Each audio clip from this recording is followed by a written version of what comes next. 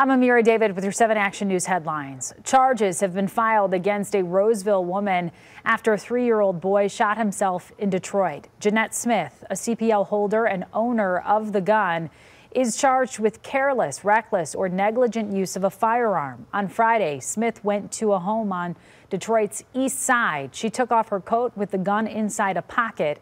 When she left the room, the child found the weapon and shot himself in the head.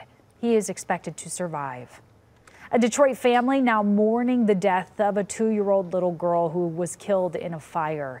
It happened just before 9 last night at an apartment building off of Plymouth Road near Coyle Street. Officials say firefighters quickly pulled the child from the apartment, but she had already suffered severe burns. Investigators believe the fire was accidental, but the cause has not yet been determined.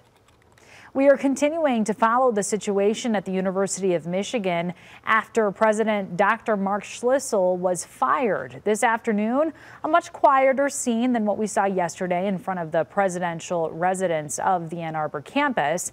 Schlissel has 30 days to vacate the House. The University Board of Regents announced his removal yesterday after an investigation revealed an alleged inappropriate relationship with a university employee. Mary Sue Coleman will return to campus as interim president. And a quick check on the forecast with meteorologist Mike Taylor. Hey, Mike. Hey, thanks, Samara. Skies are going to cloud over as we get into the overnight, but that's going to help keep the temperatures up. So not as cold for this evening. Temps will stay in the 20s, but overnight lows will dip down into the low 20s once again, but we bounce back for your Monday, but snow showers will be possible.